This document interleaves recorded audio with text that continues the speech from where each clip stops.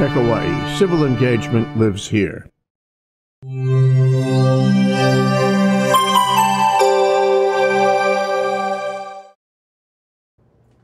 Hi, Mufi. How are you?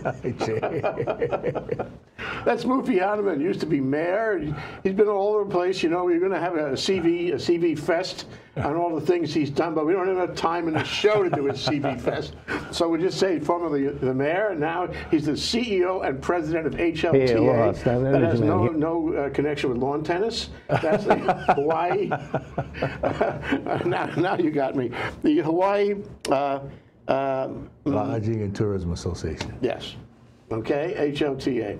And uh, he's done really incredible things in the past few years. And I saw him last only a few weeks ago at the uh, uh, Visitor Industry Charity Walk, which was really terrific. And and these kids from McKinley, the McKinley band, were all around him. They loved him. He made a few statements. We have it on our movie on OC16. If you want to see what Mufi said to the kids of the McKinley band, you can see that. Welcome to the show, Mufi. Thank you, Jay. Always good to see you. You're always good for a laugh or two. Yeah, we had a standing ovation from Mufi before before the show began. You want to tell the background of that? Well, it was um, in, in, in the city council chambers, and it was a bill that you were pushing very passionately for.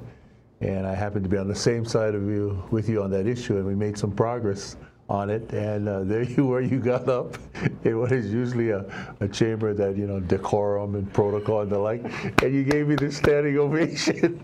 And the place was filled with people. The place was filled with Up to the chandeliers. You know, the pit went wild. I don't think it's ever been done again after that. we always remind ourselves of that moment. It is a precious moment. So, uh, how did the uh, visitor walk do? I mean, it, it seemed to me that it had a lot of vitality uh, on all sides of the coin. You know, it's uh, one of these things that's been we've been doing for 40 years, Jay, and it's part of the visitor industry's way of giving back uh, to the community, and uh, it's grown phenomenally. Uh, it's held on every island because we have neighbor island chapters in every county, uh, and this year we raised nearly 2.5 million dollars and counting, which is an all-time record. That's great. Yeah, and uh, we're going to be able to help uh, well over 350 uh, nonprofit organizations. Uh, all the money that is raised on that island stays on that island. So Lanai, Molokai, Maui, Kauai, Big Island, uh, and Oahu get to keep that money there. So uh, we and we do it every year. It happens the same time, the first three weekends in May. But it's a year-long uh, effort in terms of the planning that goes into it, the preparation, and just to see the people come out, whether it's the youth, whether it's the kupuna, uh, whether it's people uh, in the military. Uh, they sort of all come together because they recognize that this is a great cause, and and we love doing it from the hospitality industry. We sort of follow the admonition to whom much is given, much is required, and this is why we do it every year without fail. Well, you know, it's, there's a public policy issue there as far as the connection of the sectors. You know, um, you know, hospitality is really the biggest industry these days. Used to be the three legs of the stool. Do you remember? Right. It was military, agriculture, and hospitality. Now it's pretty much hospitality. So it's very important that we have this industry, and very important that we support it, and we make it efficient and profitable, and we participate in it. Um, but but we also have to have connection with it. We can't you know let it go adrift, and it can't let us go adrift. We have to have this connection. And I think the visitor walk and, and the fundraising that you mentioned, it's all part of that. It's part of a, a larger effort. Am I right? To connect the two. Exactly, and you know we, we recognize that uh, ours is an industry that's very fragile. Uh, either man-made or natural disasters can cause us to go south, and so in the good times you have to ride that wave as long as possible, and at the same time we have to do all we can, and this is where the connection comes in, whether it's government, the private sector, uh, labor, uh, everybody all coming together to ensure that we can keep this industry as strong as possible. Because you're exactly right. Uh, we're very dependent on tourism, and we recognize that. All the diversification efforts of the state uh, have not gone as well as, as probably we, we imagined or dreamed about. And everything comes back to tourism. It's our core competence. It's what Yeah. we do very well. Yeah. How, how exactly well is it doing these days? We have, what, 10, 12 million people coming here every year? We have an enormous juggernaut of tourist activity here. Yeah, well, we're not, this year we'll probably hit 10 million. uh, but we have been growing incrementally during the past six years, six years of uh, growth every year, and it usually doesn't happen that way. It would come in two or three year cycles, and we'd kind of hit a slump, and then we'd go back up again. But we've been blessed. We've been very fortunate. But at, at the same token, competition is intense uh, all over, uh, and we also have some issues we have to talk about here at home, and that is how much tourists uh, is uh, is too many uh, for Hawaii. Should we be uh, doing more with the quality of tourism that we'd like to see? Or should we be doing more with our attractions, with our resources? Should we ensure uh, that the local people will always feel connected and that we're just not doing these things so that we can bring more visitors here? So all those things all play very nicely in terms of one uh, over, uh, I should say, one very dominant message that we put out there that it's an industry that we've been very fortunate it provides the greatest number of jobs, but at the same time we have to be looking at the quality of that industry, the quality of those jobs, and our quality of life. Yeah. So you have many organizations, um, we could call them community service or trade association or nonprofit organizations that feed into this, um, this, this kind of group of organizations that are in, in, in the industry, around the industry. And I've always felt that HLTA, Hawaii Lodging Tourism Association, is going to be the biggest one. It's going to be the one at the point. It's going to be the one that is most engaged with the hotels, most engaged with the workers, the unions, if you will, most engaged with the activities that take place in Waikiki. Am I right about that? Uh, I, I think you're right, but I, I think we also recognize that we can't do it alone. We need collaboration across the board. I think one of the advantages we bring to the table is that we started off as a hotel association, purely a hotel association. HHA. HHA, yes, and, and, and we've been around for 70 years. Uh, and then we moved into what we call the Hawaii Hotel and Lodging Association.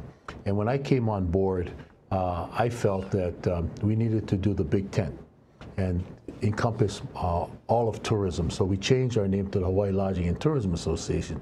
So we still have uh, a dominant group in our organization made up of hotels, but the biggest number of members are what we call our allied members.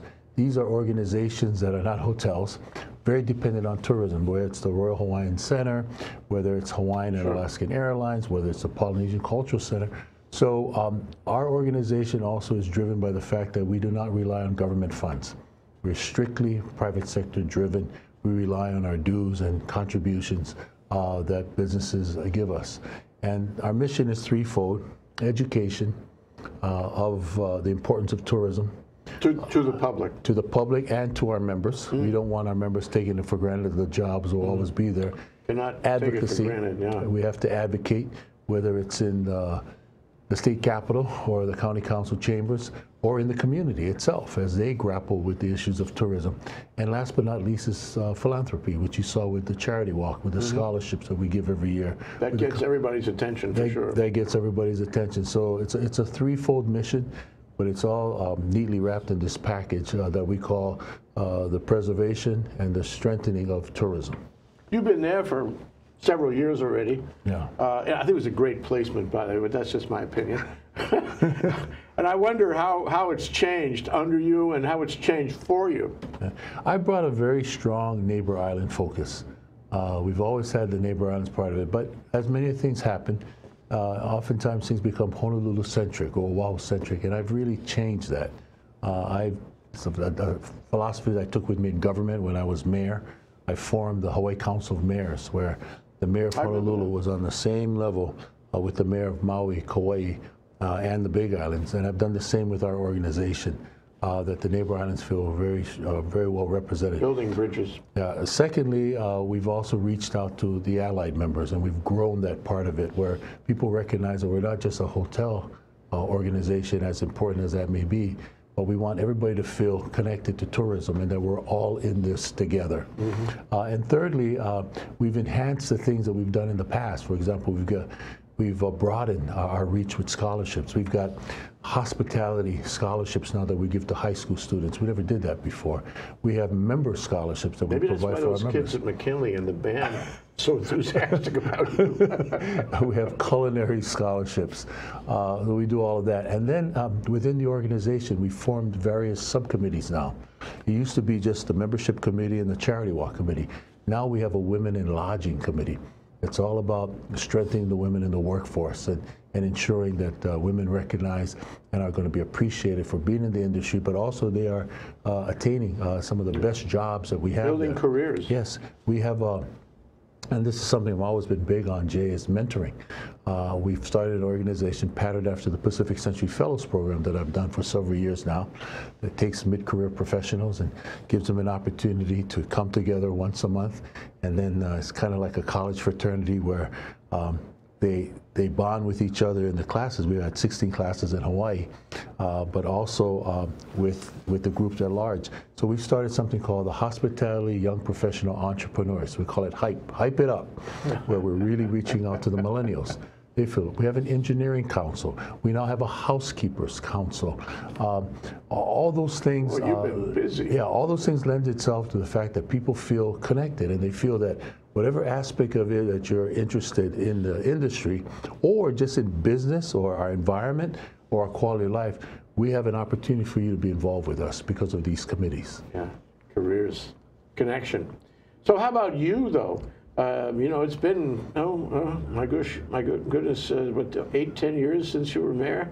Uh, and um, how have you changed? How has this changed you? I think you have a little more gray at the temples, but the hair's still there. It's important.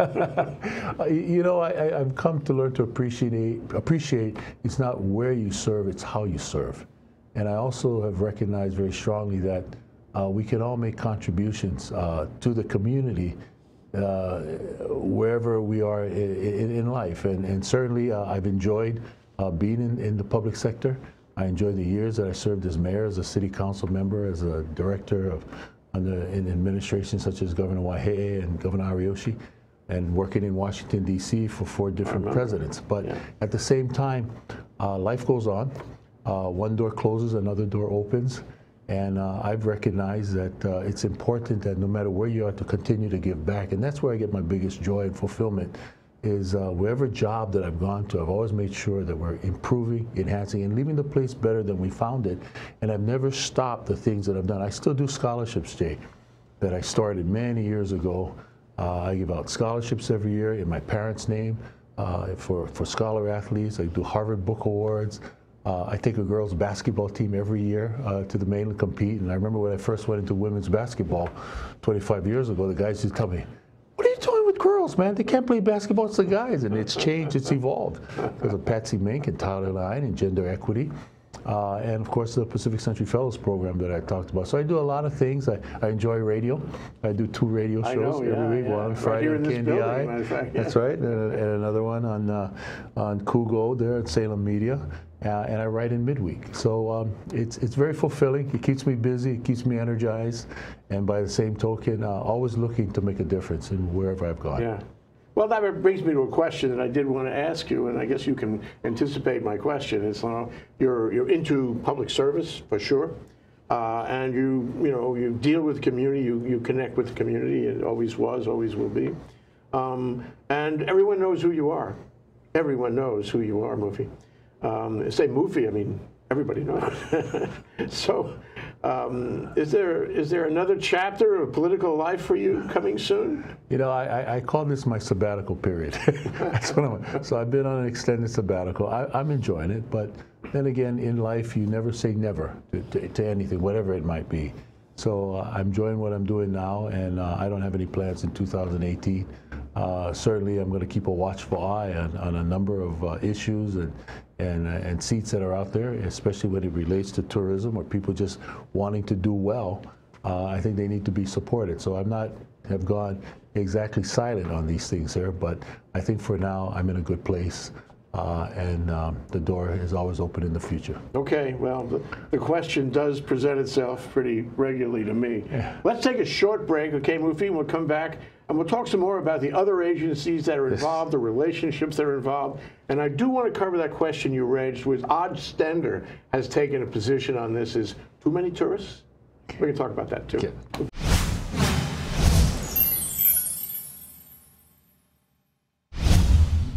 Hello, everyone. I'm DeSoto Brown, the co-host of Human Humane Architecture, which is seen on Think Tech Hawaii every other Tuesday at 4 p.m. And with the show's host, Martin Despang, we discuss architecture here in the Hawaiian Islands and how it not only affects the way we live, but other aspects of our life, not only here in Hawaii, but internationally as well. So join us for Human Humane Architecture every other Tuesday at 4 p.m. on Think Tech Hawaii. Hey, aloha, Stan Energy Man here on Think Tech Hawaii, where community matters. This is the place to come to think about all things energy. We talk about energy for the grid, energy for vehicles, energy in transportation, energy in maritime, energy in aviation. We have all kinds of things on our show, but we always focus on hydrogen here in Hawaii because it's my favorite thing. That's what I like to do. But we talk about things that make a difference here in Hawaii, things that should be a big changer for Hawaii uh, and we hope that you'll join us every Friday at noon on Stan the Energy Man and take a look with us at new technologies and new thoughts on how we can get clean and green in Hawaii. Aloha.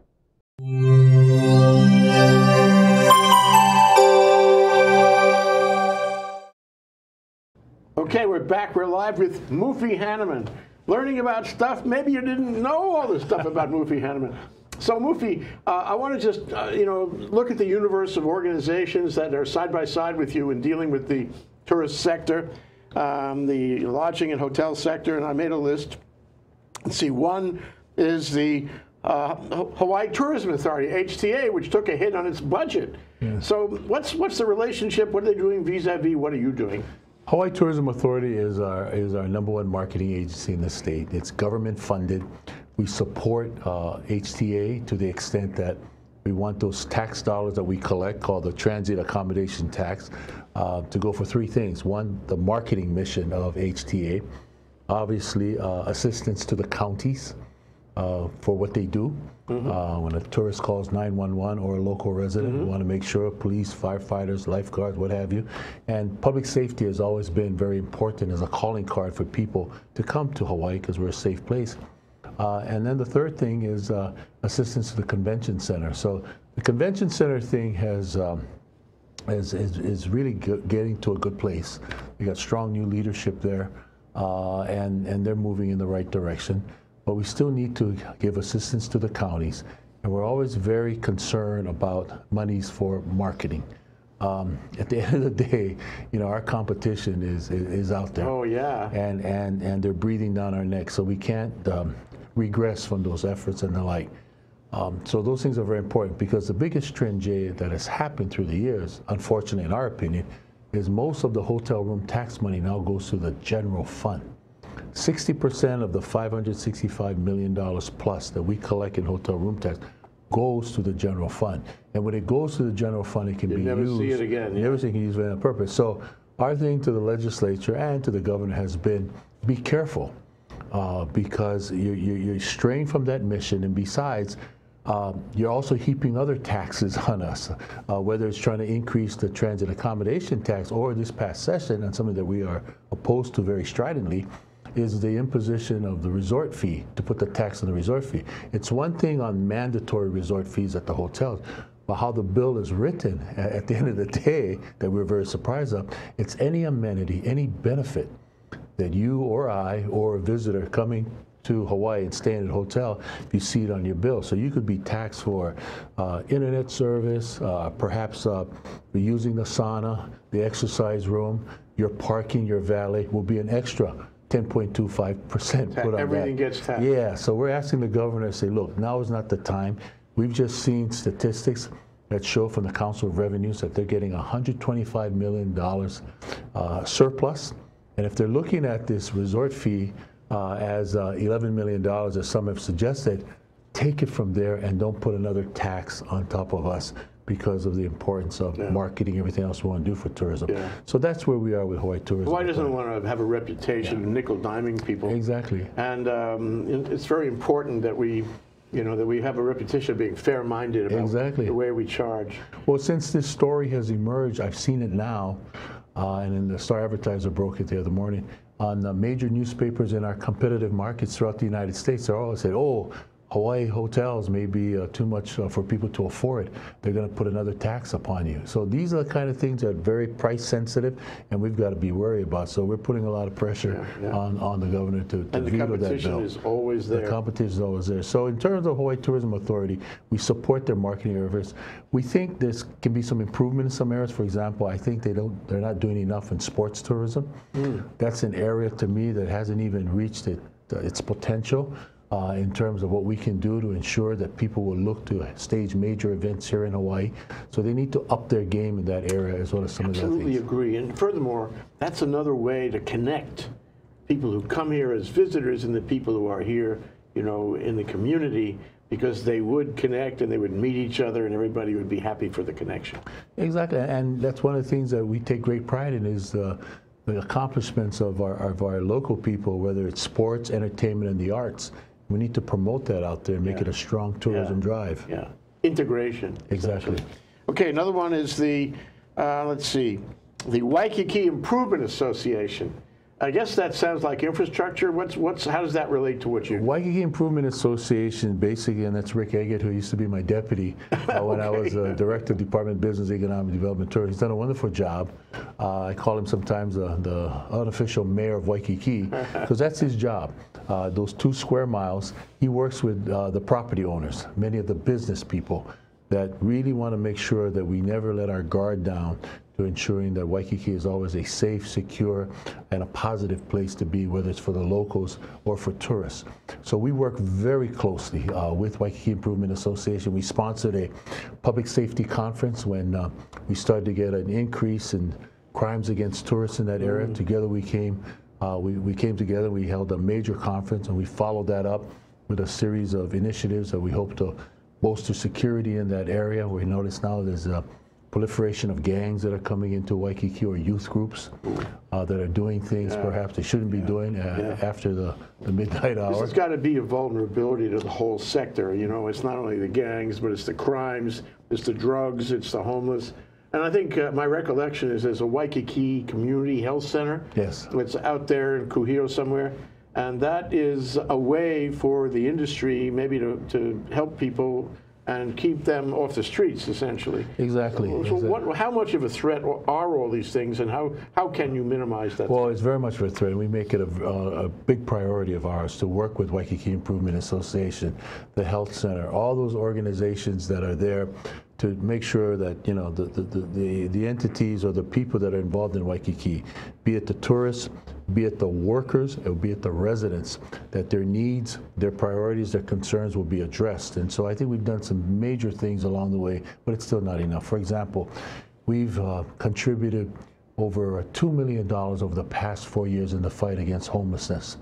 And one can argue that we haven't made much progress, albeit that Got to uh, start somewhere, and money helps. Money helps, money helps. And so one of the bills that we asked from the legislature is to match our contributions that we've given to these nonprofit organizations like Institute of Human Services and others. Sure. If they can match it dollar for dollar with the marketing funds that we've set aside for Hawaii Tourism Authority. So that bill passed the legislature, it's sitting on the governor's desk. We hope he signs it. So if we give a $25,000 grant, a $40,000 grant, not just in Waikiki throughout the state, the state's million dollars will match that, and that nonprofit organization will be able to have a lot more money uh, to go forward uh, with, with their mission. And So- again, the connection. the connection. So Waikiki Improvement Association is very important. Uh, we work with them uh, constantly. Rick and I talk weekly. We meet uh, constantly to work to see how we can do it. Because the other important organization is the Waikiki Business Improvement District yes. uh, which is funded by the property owners too. Uh, so um, you know, it, it's a matter of always coordinating things, and then of course having a nice rapport and relationship with the Honolulu Police Department is important. The other thing that we have uh, done a lot more of is making sure that the military feels connected.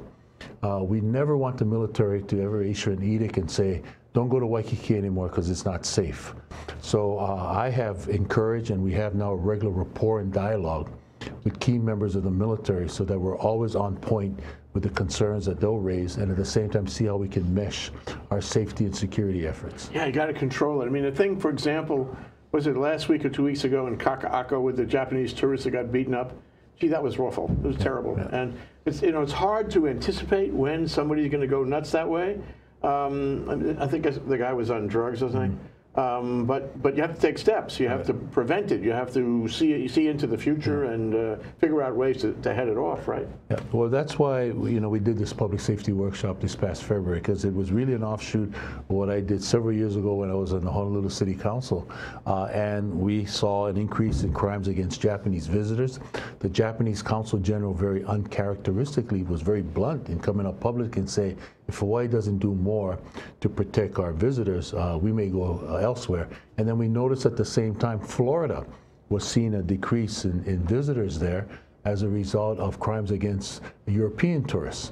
So we didn't want to repeat that. We got together. We brought everyone. Uh, I was a member of the council at that time.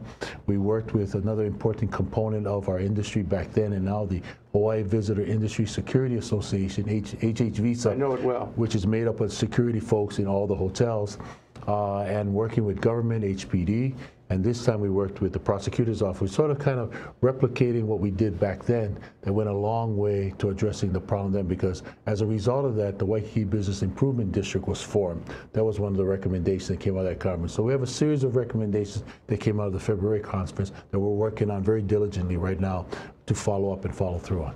I, I, I said before the break that we should cover we should cover Oz Stender's comment. He came had a show with us, and for the proposition is too many tourists. We have to stop that. Um, this is you know the hard question, and if you went out in the crowd and asked, "What do you think?" A lot of people would say, "Too many tourists." Uh, I know you're working against that, but you know, is there a point? Uh, is there something we should be thinking about or doing to manage uh, the growing numbers of tourism? Well, this is where, and, and, and let me say this: I I, I believe uh, that we cannot just open up our the floodgates and say let as many tourists come to Hawaii. Uh, as a resident, I'd be very concerned about it, and I don't want to see that. So we're really reaching that point now uh, as we hit the 10 million mark. How many more tourists can we absorb in our island lifestyle environment? And this is where the Hawaii Tourism Authority really has to take a leadership role because they have the state funds. The state funds go to them to be able to do marketing, but they should also be concerned about that other aspect. So we're ready to participate in those discussions. When I was a member of the city council, I remember there was a there was a rhubarb between the council and Mayor Harris at that time, who wanted to charge an admission fee at Hanauma Bay because the thing similar back then. Too many tourists are going to Hanauma Bay. That was fine, but the problem is the special fee that he wanted to assess, he wanted to throw it in the general fund. And that's when I rose up and said, no, Mr. Mayor, if we're going to charge a fee for Hanauma Bay, It Should go for it- tourism, well, no, it should go into a special fund to go back to the bay right? so that we preserve, we enhance, Right. we educate people. absolutely agree. We shut it down uh, an additional day of the week. We want to call it the Hanauma Bay Nature Preserve. Yeah, perfect. All those things came into play. We need to have those discussions right now. Let's take that playbook that I worked with on the council and make sure now HTA and our state legislators and whoever is governor, uh, in this case Governor Ige, will move forward on those discussions here.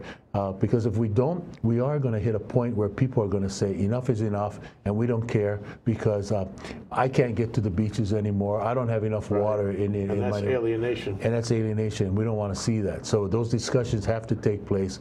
So f- to Oz Stender, who I know very well and respect, I think he's right in that regard. But let's have a community uh consensus in, in, in arriving at a decision here. I think the Native Hawaiian community, whether it's through OHA or other groups, they should be at the table, and we need to make some tough choices, almost like a con-con about tourism. I love it. What a great idea. Well, we can have a con-con right here, Mufi, because we should we should continue this conversation. I can just, without itemizing, I can think of six or ten more things that we could have discussed today that we should discuss in the future about tourism, about Waikiki, and about these islands and how it deals with tourism. It's the engine of our economy. We have to pay attention. Thank you so much. Thank you. Hanna. Thanks for having me on. Yeah.